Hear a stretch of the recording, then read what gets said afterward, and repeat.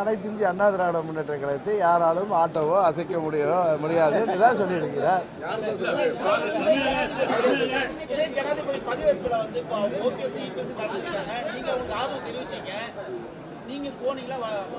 நான் இங்கே தான் இருக்கோம் உங்களோட. எங்களை அழைக்கவில்லை. நாங்கள் எங்கள் சார்பாக அவர்கள் எல்லாம் சென்றிருக்கிறார்கள் என்று வைத்துக் கொள்ளுங்களேன்.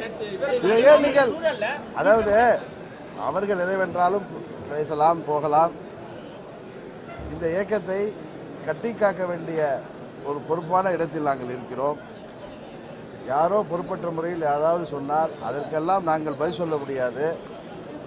இயக்கம் சிறப்பாக இருப்பதற்கு எந்த ஒரு நடவடிக்கையும் வருங்கால இயக்கத்தின் வளர்ச்சியை முன்னிட்டு நிச்சயம் துணிச்சலோடு நான் செய்வேன் என்பதை மாத்திரம் இந்த நேரத்திலே குறிப்பிடுகிறேன் இயக்கத்திலிருந்து பிரி சென்ற சில சகோதரர்கள் எனது முன்னாள் நண்பர்கள் ஏதோ சுயநலத்திலோ இல்லை அவர்களுக்கு ஏதாவது பயத்திலோ இல்லை நிர்பந்தத்திலோ இதெல்லாம் சொல்வார்கள் இதையெல்லாம் தாங்கி இதற்கு மேலும் பொறுமையாக இருந்து இதை வழிநடத்தி செல்ல வேண்டிய பொறுப்பும் அந்த பதவியும் எங்களிடம் கொடுக்கப்பட்டிருப்பதால் இதெல்லாவற்றையும் பொறுமையாக நாங்கள் அனுசரித்து அதே நேரத்தில் மிகவும் சரியான நடவடிக்கைகளை தீர்க்கமான நடவடிக்கைகளை நிச்சயம் எந்த ஒரு பயமும் இல்லாமல் நான் தேவை ஏற்படும் பொழுது நிச்சயம் செய்வேன்.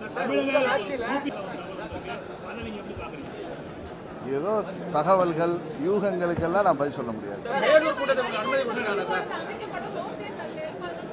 அதே பதில் தான் யூகங்கள்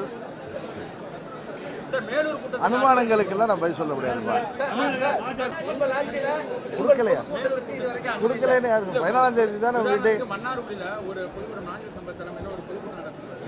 கடைசி நேரத்தில் அந்த பொதுக்கூட்டம் வந்து ரத்து செய்யப்பட்டு இது ஆயிடுச்சு. அது வந்து காவல்துறை வந்து அனுமதி இல்லாமல் அப்படிங்கிறாங்க.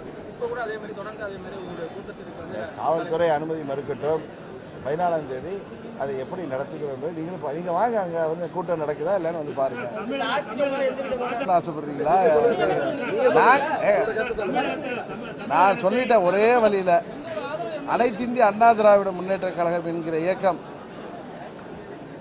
வருங்காலத்தில் சிறப்பாக இருப்பதற்கு எந்த ஒரு தேவையையும் எந்த ஒரு அறுவை சிகிச்சையும் நான் செய்வேன் என்று திரும்ப திரும்ப சொல்லிக் கொண்டிருக்கிறேன். அங்க நியரஸ்ட் ஹாஸ்பிட்டல்ல ஐசியூல சேர்த்து நான் பண்ணிடுவேன் அவ்வளவுதான்.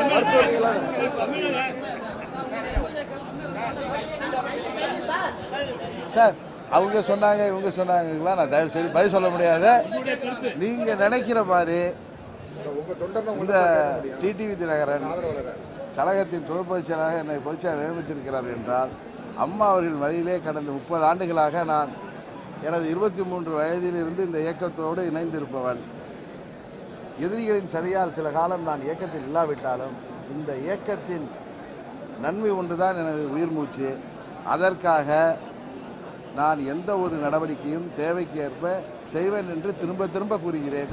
நீங்கள் அதை செய்வீர்களா இதை செய்வீர்களா என்பதற்கெல்லாம் நான் பதில் சொல்ல முடியாது.